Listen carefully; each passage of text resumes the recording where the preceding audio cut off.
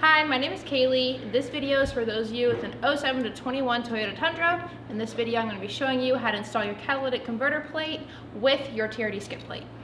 Okay, so the tools and the hardware you're going to need, you're going to need your T45 Torx bit out of your hardware kit. You're going to need a 17 millimeter socket, a 15 millimeter socket, and a 17 millimeter ratchet wrench. And then you want to go ahead and grab two of the bolts from your hardware kit along with four washers and two nuts. Okay, so first things first, I'm going to go ahead and loosen the rear bolts on my skid plate. I want to make sure that they are loosened enough for me to be able to slide my cat plate into place. Okay, so you want to go ahead and loosen these bolts just enough to slide your plate in between, but you want to make sure that you do not loosen them too much because your TRD skid plate can spring down. I'm going to take my 17 millimeter ratchet wrench and put this one on top. And then I'm going to take my 15 millimeter and I'm going to go ahead and start loosening that. And I'm going to go ahead and slide this right onto those bolts. That's a horrible noise.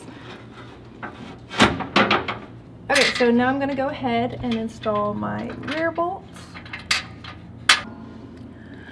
Okay, so I'm going to come over to my passenger side. I'm going to take my 17 millimeter ratchet wrench and right here by my oil pan, I'm going to find my nut up here and it's a really tight squeeze, but your ratchet wrench will only fit right here so you're going to have to find a way and just kind of wiggle around and get it to sit right between the frame and your oil pan.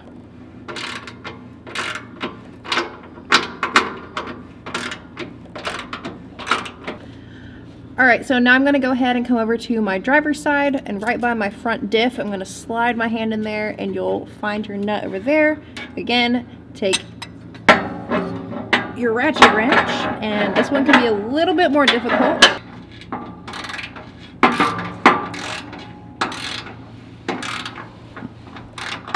Okay, so now that I have these tightened, I'm gonna go ahead and go around on my skid plate and make sure all of those bolts are tightened, and then I'm gonna come back to my cat plate and make sure those bolts are tightened as well, and then I am finished.